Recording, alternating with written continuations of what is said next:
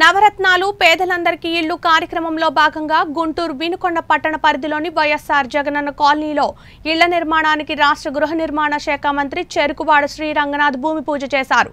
రాష్ట్రంలోని ప్రతి పేదవాడికి ఇళ్ళును నిర్మించాలన్నదే ముఖ్యమంత్రి జగన్మోహన్ రెడ్డి లక్ష్యమని ఆయన అన్నారు. ఈ కార్యక్రమంలో జిల్లా అధికారులు పాల్గొన్నారు. మీకు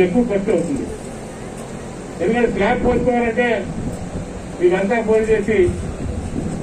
పాయింట్ అంటే ఏడు యూనిట్ యూనిట్తో కూడా ఏడో వంతు ఉంటుంది. అంటే ఏడు వందల అడుగులు వేసుకుంటే మీకు స్లాబ్ అయిపోతుంది. ఆ ఏడు వందల అడుగులు కాంక్రీట్ వేయడానికి మీరు వినుకోండి నుంచి ఒక కాంక్రీట్ మిల్లర్ తేవాలి. దాన్ని లాగడానికి ఒక ఆటో వచ్చే మారు. అది కాకుండా ఏడుగురు ఎనమండుగురు పది మంది మనుషులకి డబ్బులు ఇవ్వాలి. మళ్ళీ ఇదంతా వైబ్రేటర్ డబ్బులు ఇవ్వాలి. ఇవన్నీ ఒక ఇల్లు కట్టుకో ఒక ఇల్లు స్లాబ్ అయ్యారంటే మీకు కనీసం పదివేల రూపాయలు ఖర్చు అయిపోతుంది నిన్న బ్రహ్మనాడు అనేది చెప్పారు ఒకే రోజు ఒక ఇరవై ఇంటి స్లాబ్ అయ్యింది ఒకే బిల్లు తెస్తే ఒకే రోజు సాయంకాలానికి ఒక ఇరవై ఇల్లు స్లాబ్ వేసేస్తే ఏడెనిమిది వందల చోట అయిపోతుంది. కాబట్టి ఆయన నన్ను నేను బాధ్యత తీసుకుంటాను ఆఖరి దాకా అని ఆయన హామీ ఇవ్వడం జరిగింది.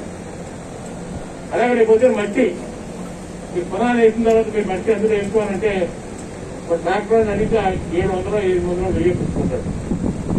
నేను అదే చెప్పాను బ్రహ్మనాయుడు గారు ఇల్లులో కూడా మీరు ఎక్కడ పర్మిషన్ తీసుకుని గవర్నమెంట్ దగ్గర నుంచి ఒక జేపీబీ టూ హండ్రెడ్ మెట్లు పెట్టి ట్రాక్టర్ కూడా ఇంటి లోపలికే మెట్టి వేసేస్తే అది తక్కువ రేట్ కూడా అయిపోతుంది ఎందుకంటే నాలుగు ట్రాక్టర్లు కన్నా పట్టకు రావడం ఆ నాలుగు ట్రాక్టర్లు కూడా మీరు గ్రూప్ గ్రూప్ హౌస్ తీసుకుని చేసినప్పుడు తక్కువ పడుతుంది.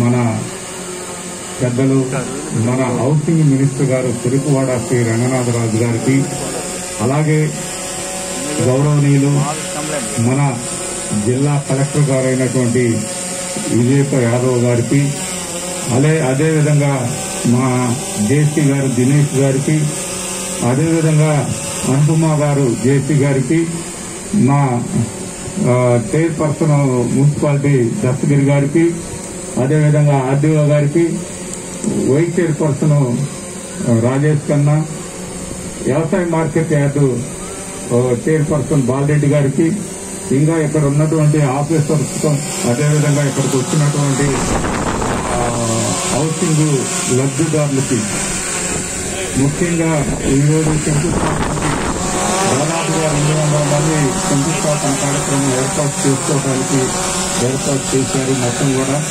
అందరికీ మరి అదేవిధంగా మన మున్సిపల్ కమిషనర్ గారు దగ్గరుండి ఇదంతా కూడా ఆర్గనైజేషన్ చేశారు. వారికి మీడియా వారికి అందరికీ పేరు పేరున హృదయపూర్వక నమస్కారాలు తెలియజేస్తున్నారు